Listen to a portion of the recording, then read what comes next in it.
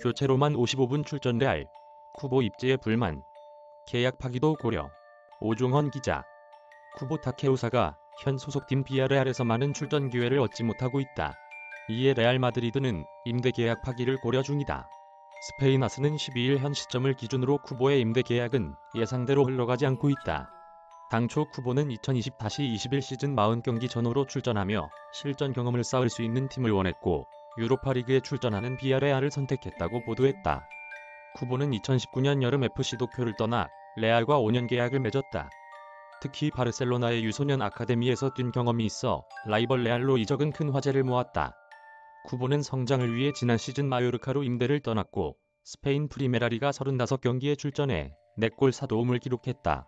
뛰어난 활약을 펼치자 다수의 구단들이 쿠보에 관심을 드러냈다. 레알 역시 쿠보의 발전을 위해 한 시즌 더 임대를 보낼 뜻을 내비쳤고 비아레알 임대 이적이 성사됐다. 우나이 에메리 감독이 이끌고 있는 비아레알은 플레이메이커 역할을 맡았던 산티 카솔라의 공백을 쿠보로 대체할 것으로 예상됐다. 하지만 쿠보의 상황은 지난 시즌과 사뭇 다른 모습을 보이고 있다. 현재 에메리 감독 체제에서 많은 경기에 나서지 못하고 있다.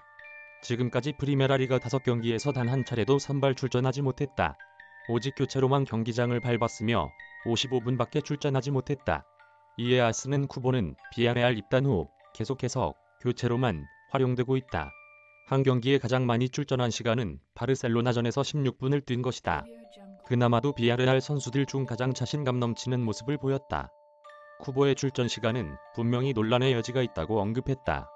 또한 이 매체는 쿠보의 출전 시간에 불만을 느낀 레알은 임대 계약 파기까지 고려하고 있는 상황이다.